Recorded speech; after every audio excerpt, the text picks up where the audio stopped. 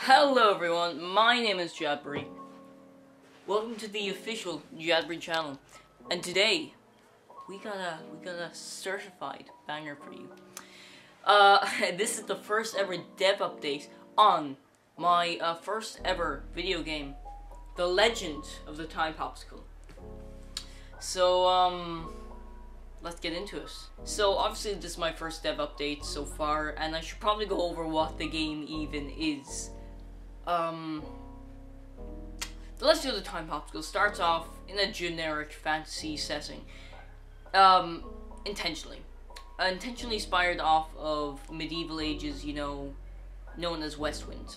But soon, you discover that all of time is being held together by an artifact known as the Time Popsicle. The artifact is being threatened by a great evil. In a series of epic battles, the Time Popsicle is broken into 10 pieces and scattered throughout different timelines, causing all of time to collapse in on itself.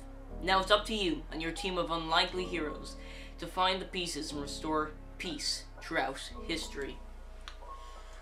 So yeah, that is essentially uh, the Legend of the Time Popsicle. So what I want to cover in this video is what will be happening with the game and what I plan to do in the future. Um, so first off, the RPG is being made in RPG Maker. It is, which is a really good platform for um, creating games. Obviously, in just in the gameplay, I'm using stock images from RPG Maker, but that will be changed later on. So um, yeah, don't worry about that. It's all fine. That'll be original artworks later on.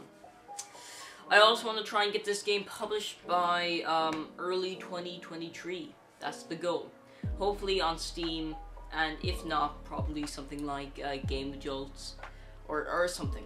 That being said, there's still a lot of work to be done uh, for this project, and hopefully this can be achieved over the summer since, uh, not right now, because exams exist. Yeah. So let's get into what I have done already.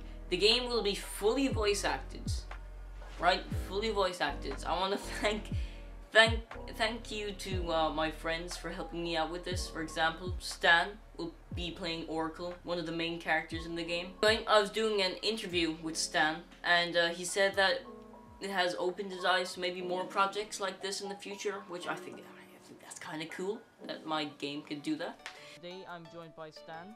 Say hello. Hi. Hi. So this is just a quick development. Uh, update, I suppose. Um, and Stan is playing Oracle in the Legend of the Time Popsicle. So, um, what has playing this character been like so far? Well, it's been it's been really fun. I haven't done any projects like this before, so it was a really fun and cool opportunity to be able to voice act for your game. Like I'm super excited for the game. I love the concept behind it. Uh, I think the I think the design looks really cool. It looks really well done. I love the idea of the like voice acting over because like typical games like that like wouldn't really have voice acting. So I think it's cool. RPGs, yeah. And um, what else? Do you think this will open your uh, eyes to more projects like this, maybe more acting, voice acting, and stuff like that? Um, I, I definitely like it too. I don't know if it would, but I can hope, you know. Anyway, guys, be sure to uh, check out the game when it's out and uh, subscribe for more updates. Of course, uh, my good friends, you know him. You know him, you love him. The, the Sir Pigeon, the chaotic gamer. Gappy himself will be playing a role in this game. Gappy, what do you have to say about this? It's yeah. You know what I think? Pull the words from my mouth. I think if you took Sword Quest and made it shit. So yeah, I just literally joined that call, and uh, yeah, I don't even think he knows I'm making this video. Gappy, if you're watching this, please comment, comment, uh, playtime popsicle, please. Um. And hey, if you are interested in um, voice acting in this project, uh, just DM me on Discord or Instagram or TikTok or Twitter or Reddit or um, in this game, the player will be transported across time. For example, the ACs. Okay, no, re- retake that right there. That had no energy at all. So in this game, the player will be transported across time. For example, the ACs, the Renaissance, even into the future. Each timeline will be around 30 minutes to an hour to complete and will be told in the same area, just in a different timeline. For example, your main area of exploration will be the village called Westwind, which will change depending on what time um, you're in. So far, I've completed the Middle Ages and the prehistoric areas. The inn will act as the hub world for this game. It will transport itself into different timelines with you and become almost this game's version of the TARDIS or the DeLorean. There you can rest, uh, revive, and have a have a drink, check the quest board, and access minigames.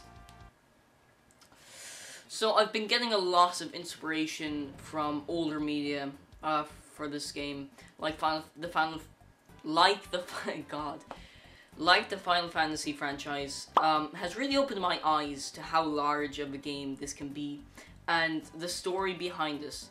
70s and 80s music uh, for this type of soundtrack I want for this game, and of course the overall aesthetic for uh, the characters you interact with um, and what they wear based on what time they're from. So with that guys, I hope you have enjoyed uh, this first ever dev update. Please, uh, if you want to be part of the adventure, hit that subscribe button. You'll be updated. And, and, and... And um, join the Last Elementals and the Time Popsicle Discord where you'll be updated uh, constantly on uh, updates coming to the game and uh, the project. Again, if you want to be a part of this, let me know. Got tons of them. Okay, guys, we'll see you next time on. Oh wait, this isn't Glass Elementals or what should we? Uh, I don't have like an outro normally for this. You know what? I'm gonna guess. I'm gonna guess a very special guest to do this for me. Okay, guys. Thank you so much for watching this. Make sure to like, subscribe, and hit the notification bell.